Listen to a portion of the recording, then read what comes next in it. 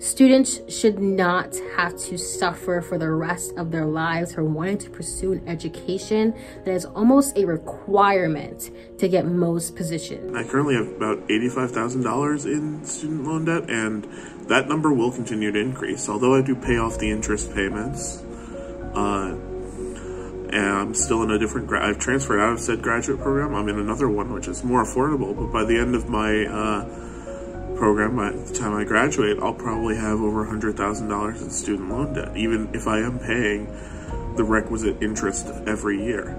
It's impacted a lot of my savings. Uh, it's made it very hard for me to hold an emergency fund. And it's something that has to change in this country. We really have to forgive student loan debt. I was fortunate enough when the government told me that I couldn't take out any more student loans.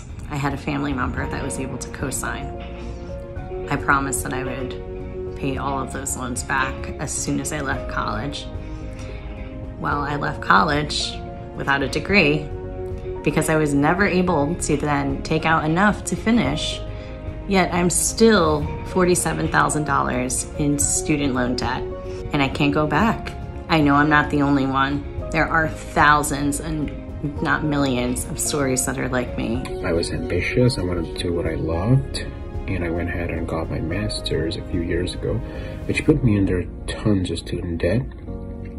It is ironical that the reason I got my loans in the first place was my career, and now the same loans are the reason I do not have enough freedom to pursue the career opportunities I would love to.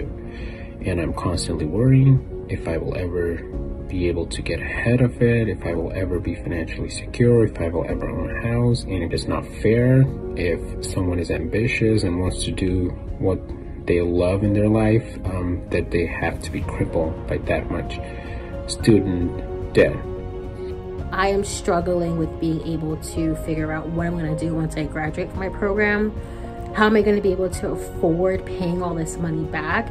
And what is the rest of my life going to look like? Because, you know, this is going to affect me for the rest of my life.